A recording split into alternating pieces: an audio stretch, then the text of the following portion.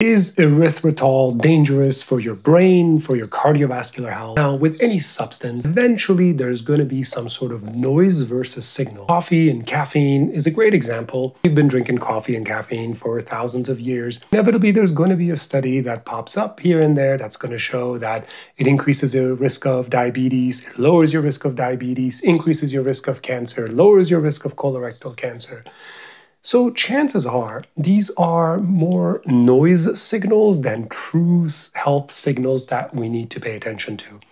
Erythritol is a substance that is actually produced in some ways in the body. You can sometimes find it more elevated in certain individuals and normal in others, whether that's due to somebody's metabolic dysfunction or from exogenous intake, meaning they're actually eating uh, erythritol who knows? It's difficult to know just that part.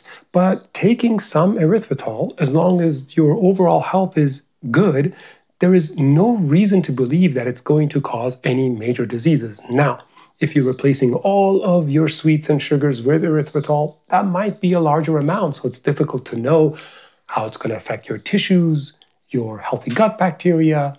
So, with anything, in small amounts, it's generally considered quite safe. If you have other such questions, leave it in the comments below. Subscribe to my channel for more. Go to my website at drashori.com if you want to work with me one-on-one.